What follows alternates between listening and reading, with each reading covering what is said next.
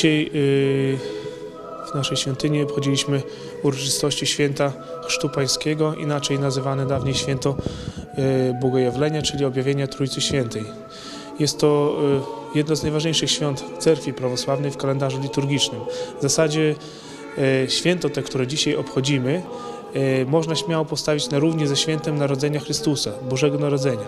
Jednak wiadomo, z przyczyn bardziej komercyjnych święto Bożego Narodzenia jakby zostało wypuklone, a te święto już jakby dla współczesnego świata jest mniej komercyjne, więc on jest jakby mniej znany, jakby wyciszony jakby na uboczu.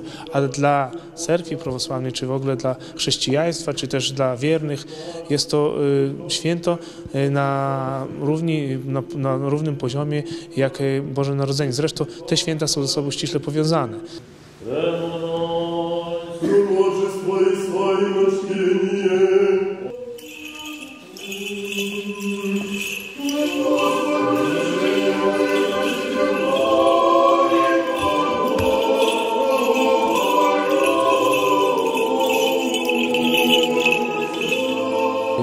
Miejscowościach mniejszych często wierni y, po liturgii świętej, która odbywała się w nocy, w Sienecznym Dzienie, udawali się y, kresnym chodem, czyli procesją nad rzeki, gdzie w rzekach wycinany był w lodzie krzyż i tam kapłan do, dokonywał poświęcenia wody w rycie tym, którym dzisiaj też mogliśmy zobaczyć. Dlaczego to jest tak istotne i ważne święto dla nas?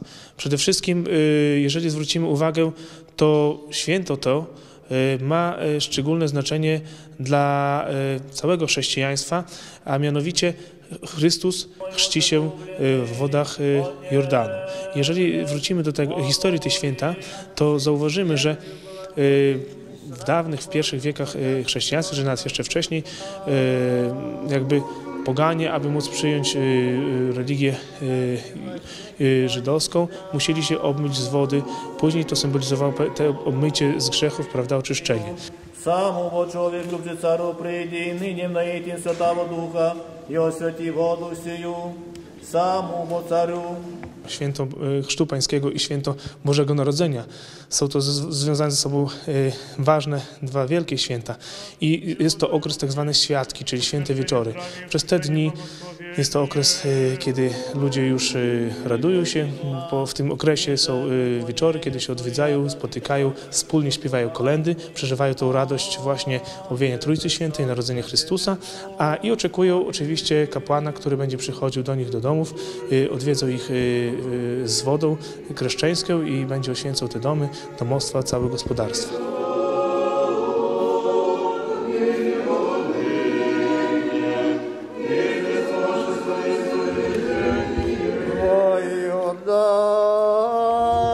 Kręcajesz się Ciebie, Gospodzie.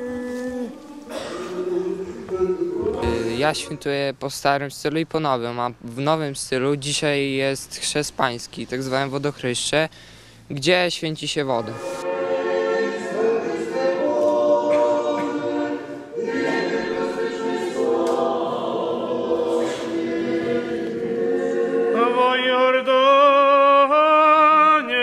Chreszcza za Ciebie,